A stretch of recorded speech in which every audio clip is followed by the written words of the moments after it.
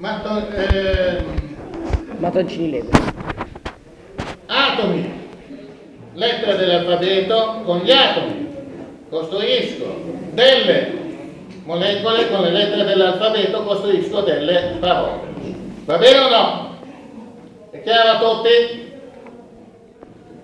Eh, quando io ho costruito una parola o una costruzione dell'alfabeto, che cosa posso fare? Posso eh, dicevo, un modellino Lego, posso prendere i mattoncini, posso prendere le lettere dell'alfabeto e smontarle. Capito bene o no? È chiaro? Smontandole i mattoncini non vengono né consumati, quindi la loro massa non viene né ridotta né aumentata. Va bene?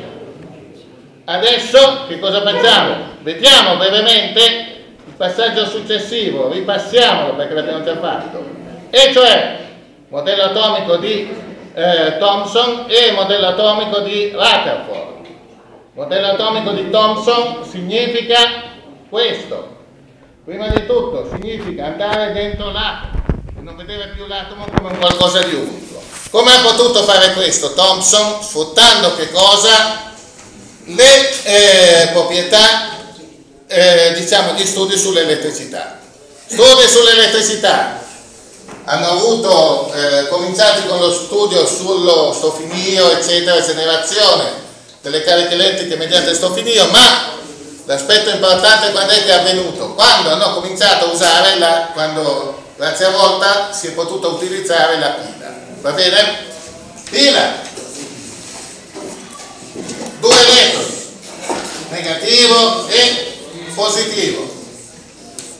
Qui che cosa abbiamo all'interno? Collegato i due elettroni della pila con due sbarre, quindi all'interno che cosa abbiamo? Quello che si chiama un campo elettrico. Va bene?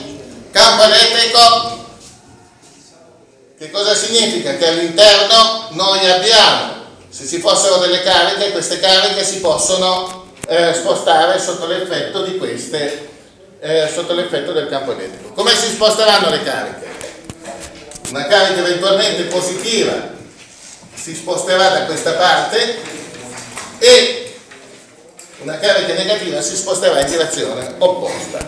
I raggi catodici, che sono poi la base di che cosa? Della televisione, del vecchio modello televisivo, come funzionavano?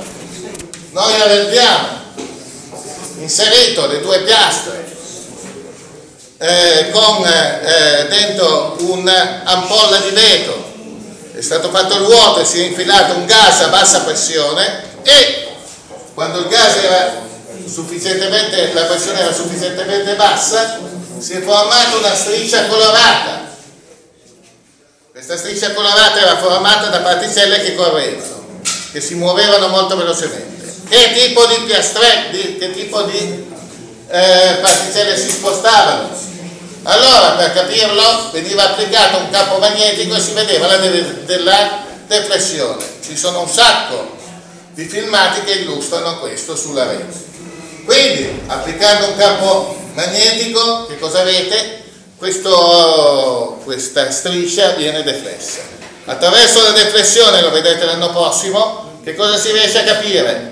Si riesce a capire il tipo di carica che si muove. Il tipo di carica che si muoveva l'aveva scoperto Thomson che cariche erano? Cariche negative. Da cosa erano generate queste cariche negative? Voi avevate degli atomi allo stato gassoso, mi sembra che nell'esperimento dei raggi catodici fosse stato usato dell'argon e questo, eh, questo atomo a bassa pressione sotto l'effetto del campo elettrico formava due specie, argo positivo e, e automaticamente liberava un tipo di particella con carica negativa. Va bene? Quello che si vedeva e cosa era? La striscia dovuta alla particella con carica negativa e ovviamente le particelle con carica negativa si muovevano in questa direzione. Ci sono anche gli ioni di segno opposto che si muovono in direzione semplicemente opposta, però producono della luce anch'esse, ma la luce che producono non è luce eh, visibile e quindi rientra nel campo della luce non visibile che potrebbe essere ultravioletto o infrarosso e quindi non si riesce a vedere a occhio nudo attraverso questo esperimento. Va bene o no? Allora questo esperimento che cosa evidenzia? Che già l'atomo non è formato da eh, due parti, ma è formato, non è un unico pezzo, ma all'interno senz'altro esiste un tipo di particella negativa, con carica negativa. Va bene? Nel recupero io avevo dato anche un elenco delle caratteristiche sia della massa sia della carica. Studiatelo, ripassatelo velocemente perché è possibile che ve lo chieda. Va bene? Una volta che abbiamo avuto queste informazioni, cioè che ci sono delle particelle con carica negativa all'interno, non avendo l'esperimento, non avendo eh, Thomson altri dati per costruire il modello atomico, che cosa ha sfruttato? Ha sfruttato solo il ragionamento. Va bene? Ragionamento quale poteva essere? Eh, si basa su due regole massimizzazione dell'attrazione, minimizzazione della repulsione. Queste particelle negative che si trovano dentro l'atomo, avendo lo stesso segno, come dovevano essere? Il più distante possibile tra di loro per darsi poco fastidio. La carica positiva non essendo stata evidenziata dove doveva essere, secondo Thomson era il modello atomico era eh, un atomo pieno di carica positiva e le cariche negative sparpagliate all'interno. Il campo elettrico staccava queste cariche negative e eh, le metteva in movimento come abbiamo visto. Avete capito bene? Quindi cominciamo con il modello atomico di Thomson a vedere quello che c'è dentro l'atomo, ma non abbiamo altre informazioni. il modello atomico dov'è che sbaglia? Nel posizionamento delle particelle, ma perché sbaglia? Perché come vi avevo già detto, il posizionamento delle particelle non deriva dalla, eh, da un esperimento, ma derivano dal ragionamento e quindi il ragionamento è stato, eh, per quanto intelligente, elegante, quello che volete, è stato sbagliato. È chiaro? Per capire come eh, salta fuori il eh, modello atomico, un modello, modello atomico successivo, bisogna passare a Rutherford, che aveva a sua disposizione gli studi dei codici Curie per quanto riguarda la radioattività. Radioattività significa emissione di razzi. La radioattività può essere di tre tipi, raggi alfa, raggi beta, raggi gamma. Io sto parlando della radioattività naturale. Va bene?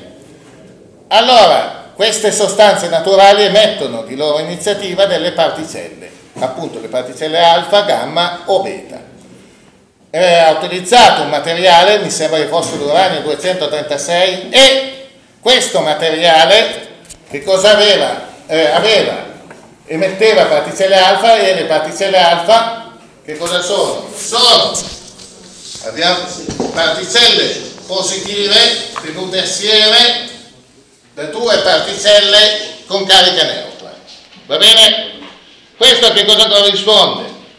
Corrisponde a quello che si chiama il nucleo del legno. Quindi se vogliamo, l'uranio 236 che cosa espelle? Questi nuclei di elio. Chiaro a tutti? Perché eh, fa questo, l'uranio 236, lo fa per un motivo molto semplice, che eh, per, eh, diciamo, per ragioni che coinvolgono quella che si chiama la fisica nucleare, che però non riguarda la chimica, quindi noi prendiamo questo come dato di fatto, usiamo la radioattività alfa senza cercare di spiegarla, va bene? Allora, l'esperimento in sé per sé è stato abbastanza semplice. Camera di piombo, perché il piombo non fa passare le radiazioni e attraverso la camera di piombo qui avete un foro molto sottile qui il materiale radioattivo il foro che cosa fa? permette di collimare i raggi alfa come se si muovessero lungo una retta una semiretta giusto? foro piccolo Poi abbiamo un rivelatore eh, al tempo di Rutherford il rivelatore elettronico non esisteva, che cosa è stato utilizzato? Una lastra fotografica. Nel filmato che vi invito a rivedere, che cosa è stato utilizzato invece? Un eh, rivelatore elettronico che si muoveva attorno e che registrava automaticamente le radiazioni emesse. Va bene? Quindi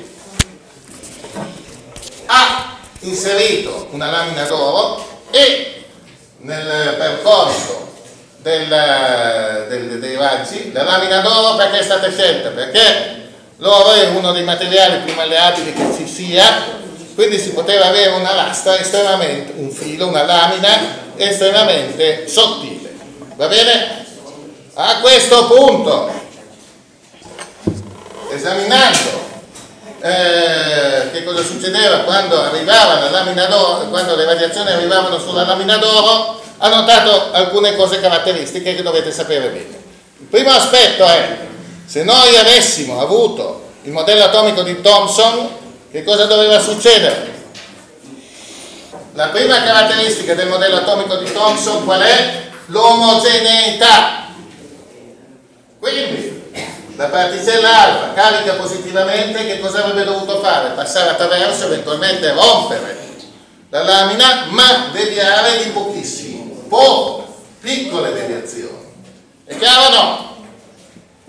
Perché piccole deviazioni? Perché all'interno che cosa ho? La carica positiva e la carica negativa mescolate assieme, la carica positiva passando in mezzo viene attratta sia dai positivi, dalle cariche positive sia dalle cariche negative, la deviazione dovrebbe essere minima, giusto? Quindi se il modello atomico fosse stato vero avremmo avuto, primo, la rottura della lamina perché le particelle passano attraverso, giusto?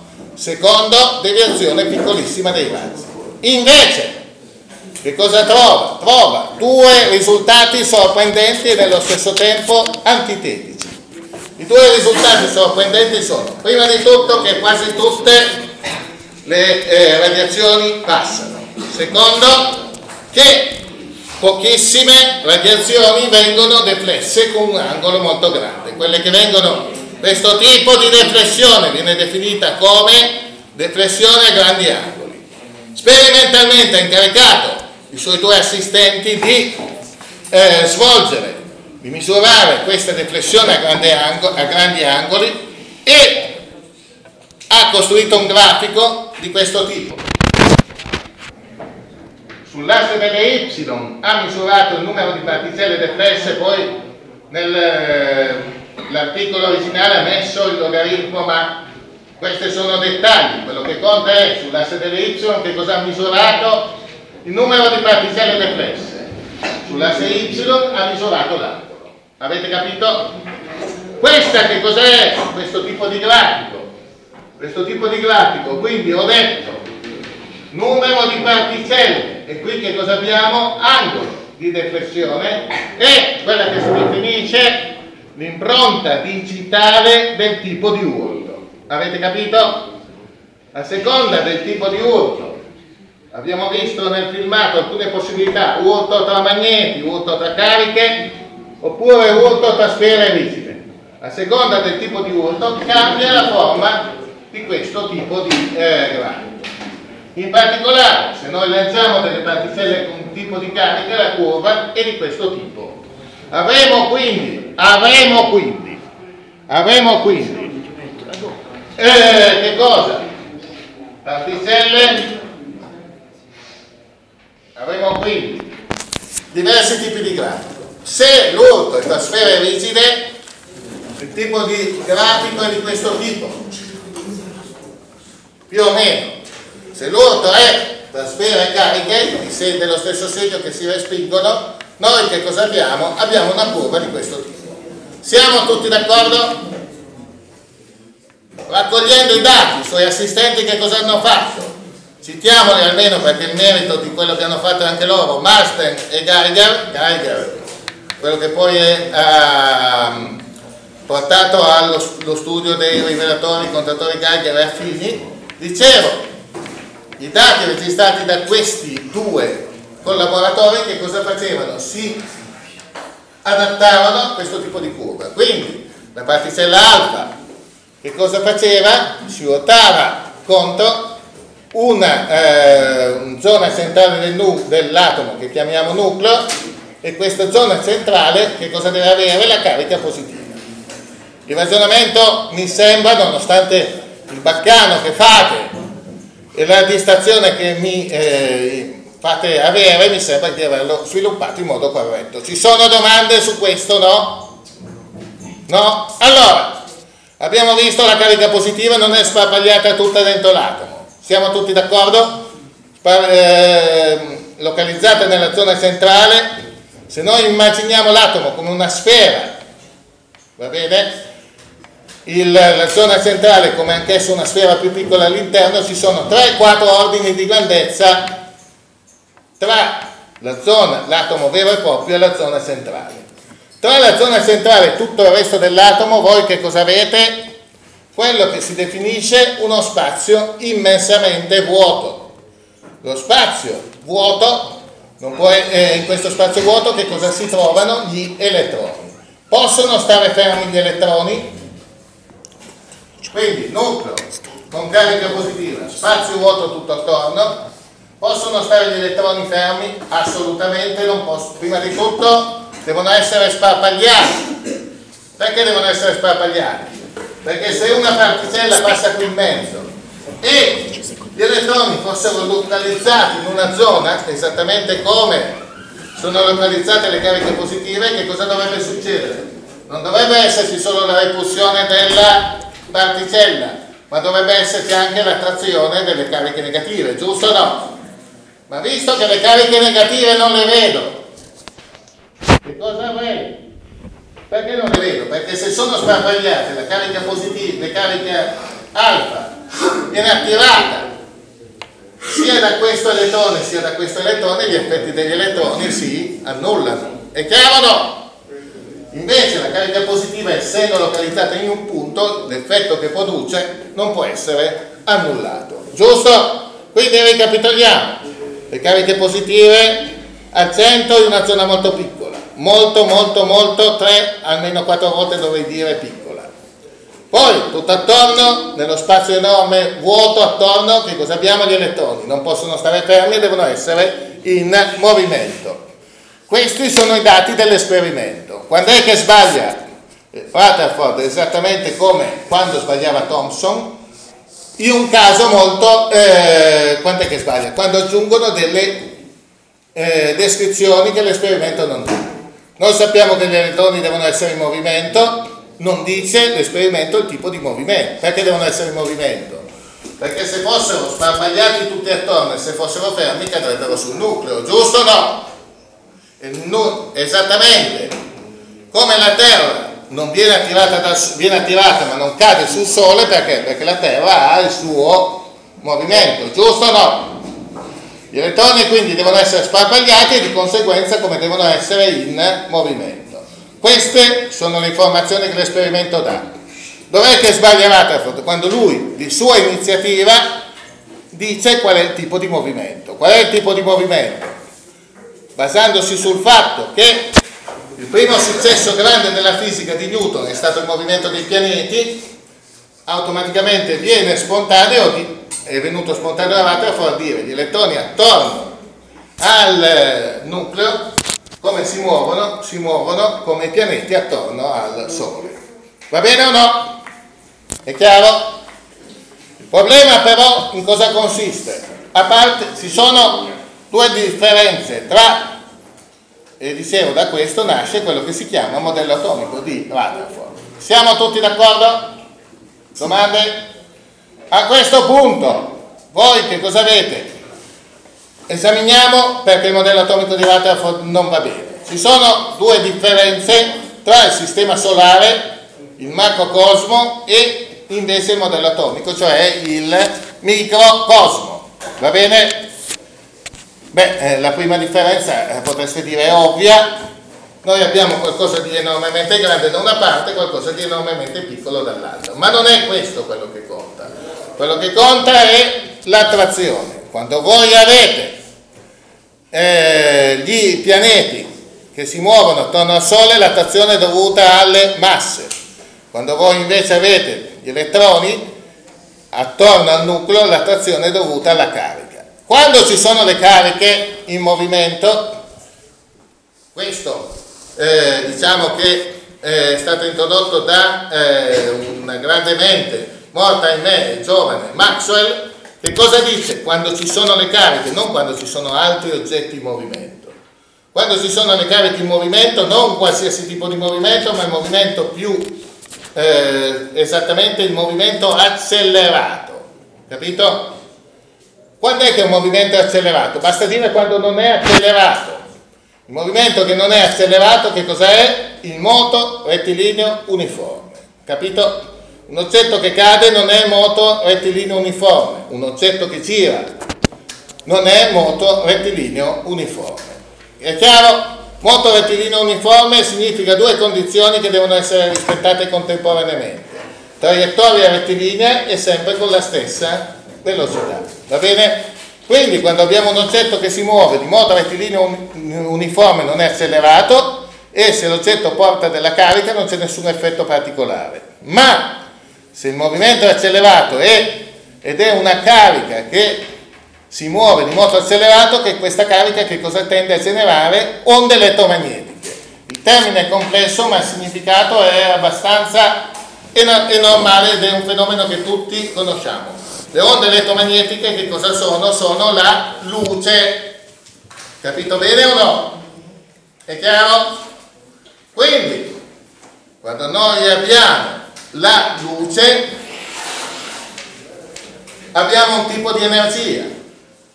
Se noi avessimo, e se il modello atomico di Rutherford fosse esatto, l'elettrone in movimento che cosa dovrebbe fare? Emettere della luce.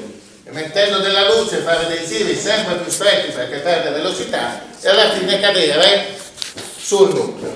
Gli effetti previsti se il modello atomico fosse di Rutherford fossero veri sono due, che tutti cosa che è sotto gli occhi di tutti, eh, condizioni che non si realizzano, e cioè tutto dovrebbe emettere luce, perché tutto quello che è fatto di atomi dovrebbe emettere luce, e tutto dovrebbe diventare sempre più piccolo. È chiaro o no? Questo mi sembra che sia smentito ed sia sotto gli occhi di tutti. Quindi, da questo momento in poi, che cosa subentra? Subentra eh, il ragionamento di Bohr e con Bohr comincia la meccanica quantistica. Rutherford fino a quando va, con Rutherford che cosa si segue? La meccanica classica.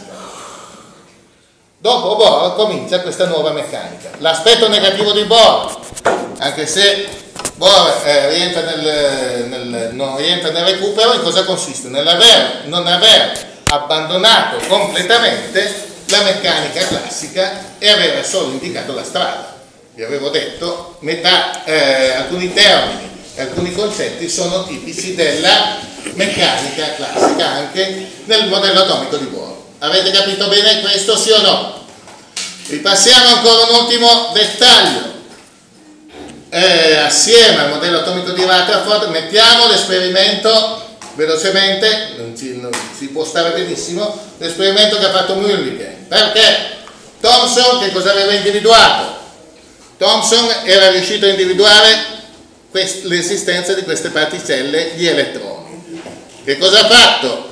Mulliken è stato capace di misurarne anche la carica.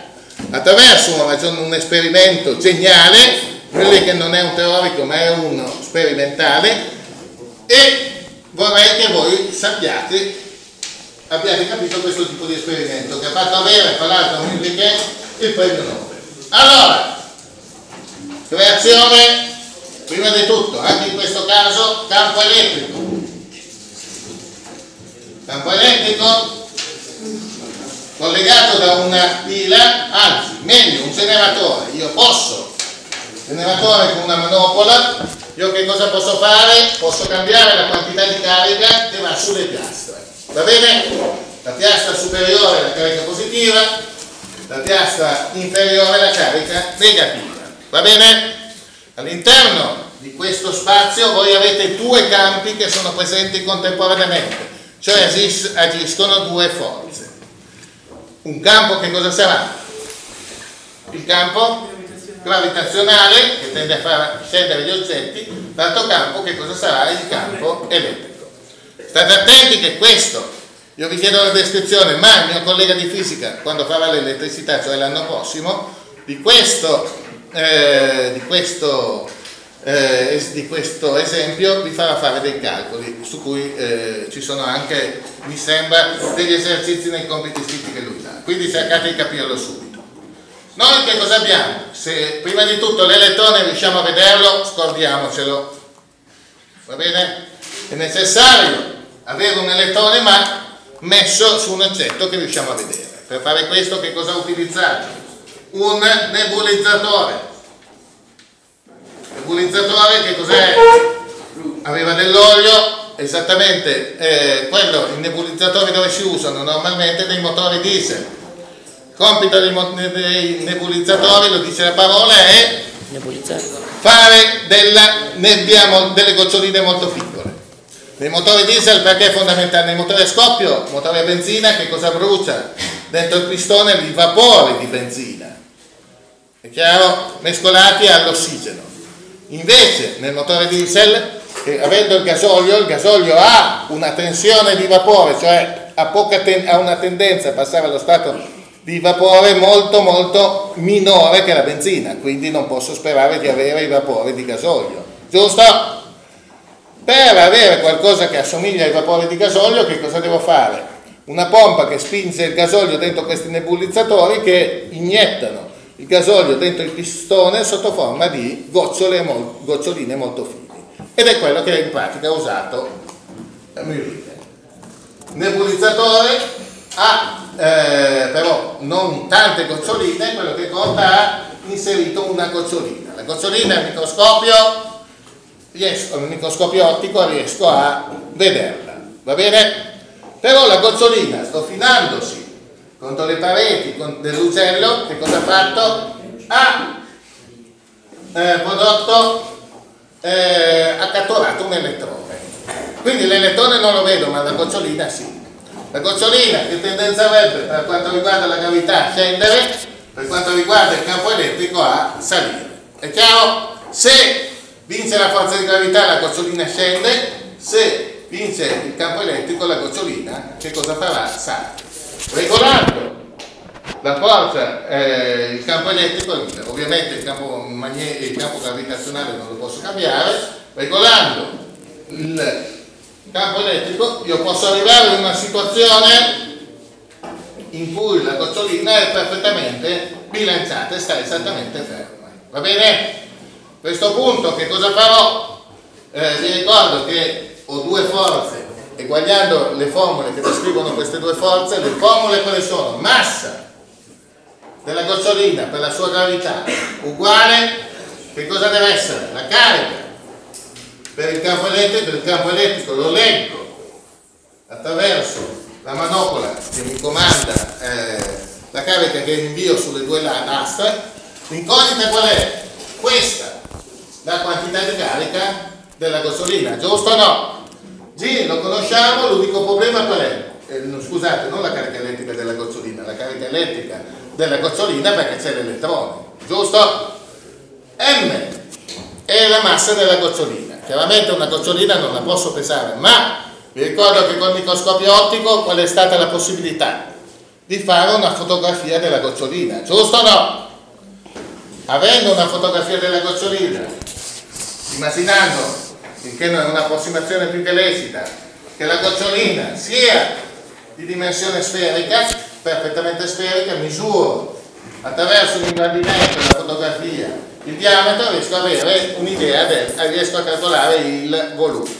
Densità dell'olio, che cos'è uguale? Massa diviso volume, l'incognita che cos'è? Il volume, giusto o no? No, scusate, l'incognita che cos'è? La massa, giusto? basta che io faccia densità per volume che ho calcolato immaginando la gocciolina sferica e tutto il resto che cosa ottengo? la massa della gocciolina la massa della gocciolina osservo la formula io ho quattro termini tre li conosco l'unico termine incognito è la carica che cosa è stato capace di fare questo, in questo modo con molti tentativi è riuscito, con, con molti controlli e verifiche, è riuscito a calcolare la quantità piccolissima di carica che l'elettrone possiede. Avete capito bene o no? È chiaro? Quindi, eh, ricapitoliamo quello che io chiederò nel compito. Nel compito io chiederò legge di Lavoisier legge di Proust.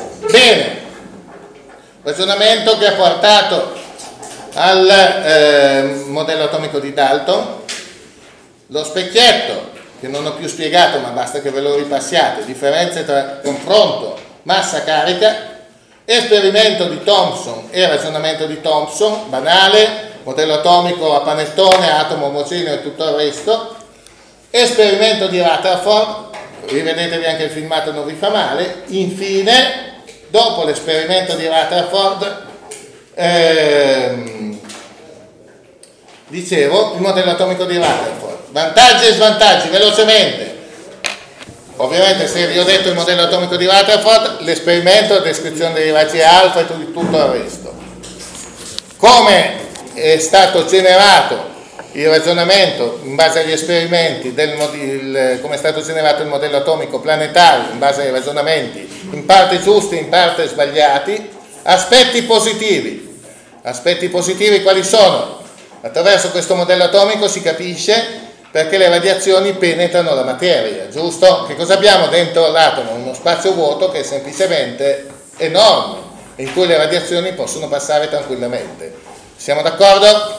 Aspetti negativi, l'abbiamo visto, il fatto che non viene lei, quello che non viene rispettato quello che aveva detto Maxwell sulle cariche elettriche in movimento. Vi ricordo che quello che aveva detto Maxwell dal punto di vista teorico cioè che le cariche elettriche provocano il movimento accelerato, creano delle onde elettromagnetiche, che cos'è? Non è nient'altro che il eh, principio base su cui si funziona la radio e su cui funziona la televisione. Nelle stazioni televisive e radiofoniche che cosa si mette? Si fanno oscillare delle cariche, quindi un tipo di movimento accelerato, questa oscillazione di cariche genera queste onde che vanno in giro per il mondo e vengono raccolte dalle antenne, le antenne raccolgono queste onde e le trasformano in suoni, visioni e tutto il resto. Avete capito bene, sì o no? Benissimo, per il compito io direi che avete eh, preparato il tutto.